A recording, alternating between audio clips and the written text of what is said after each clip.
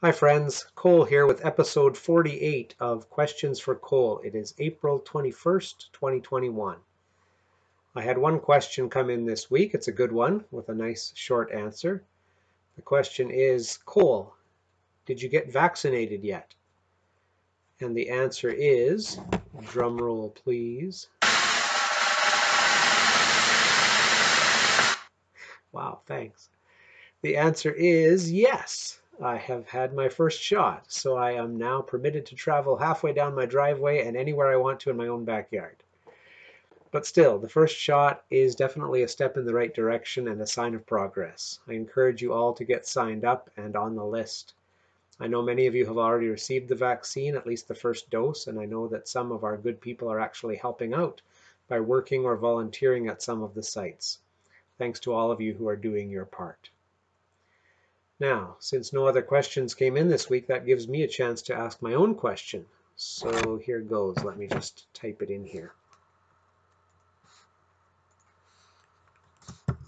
Dear Cole, first of all, thanks for doing such a great job answering all of these questions that people keep sending in to you.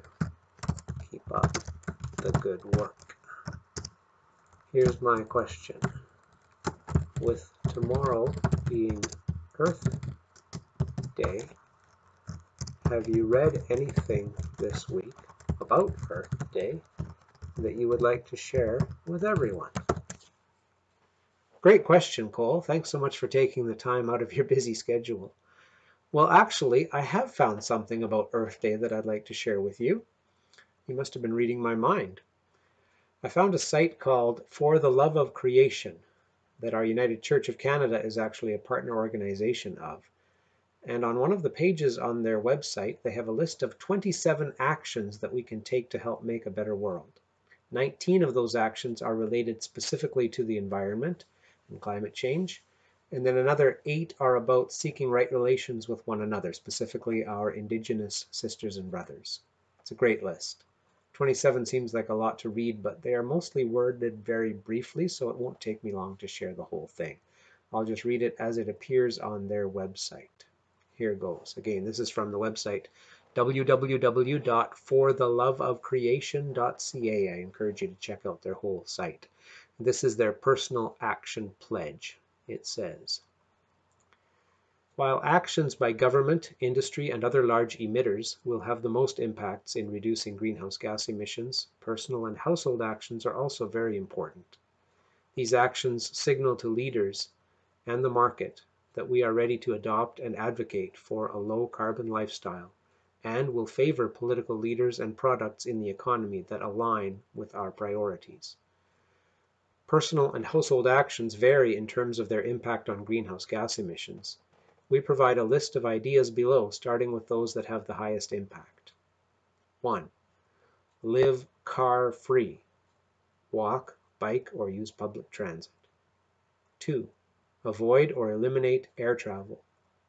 3. Divest from fossil fuels. 4. Buy green energy, in brackets, install solar panels or purchase green energy. 5.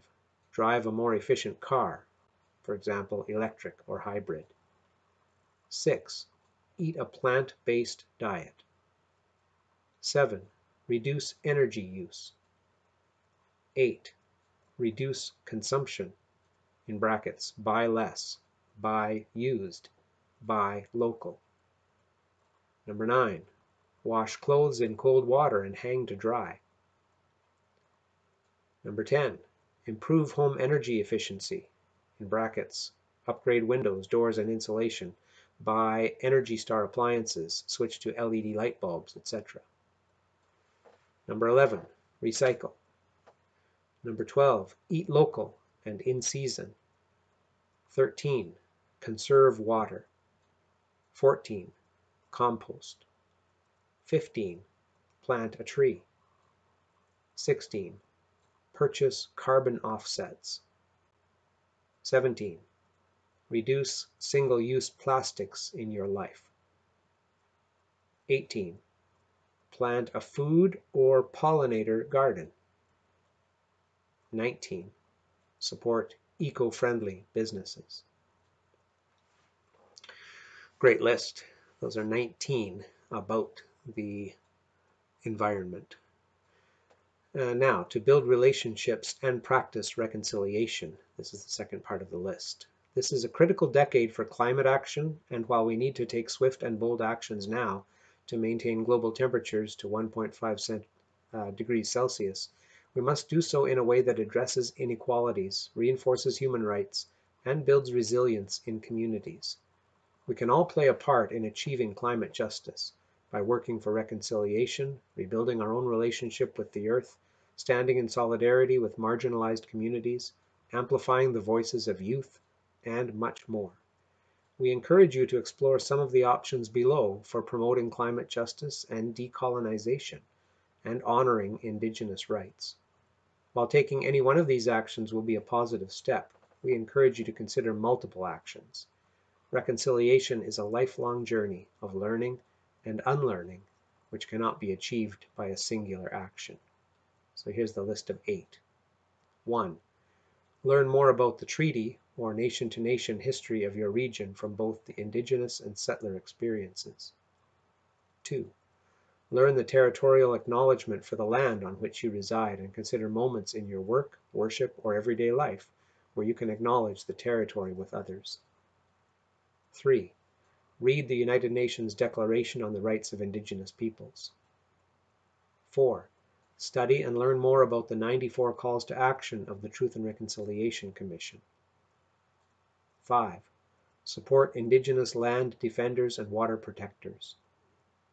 6. Support Indigenous-owned businesses and initiatives. 7. Learn about your local watershed and the issues related to its protection. And 8. Learn about the Indigenous names for the places and bodies of water where you live. And that's it. A lot of food for thought in both sections of that list, and some great challenges for all of us to consider and to take up in how we live our own lives and interact with those around us, as well as with the land, sea, and sky that our Creator God has given us as blessing, gift, and responsibility. That's it for me today. Keep sending in those questions. You can email them to cole at selkirkunitedchurch.ca. I'd love to hear from you. Take care, friends, and I'll see you next time.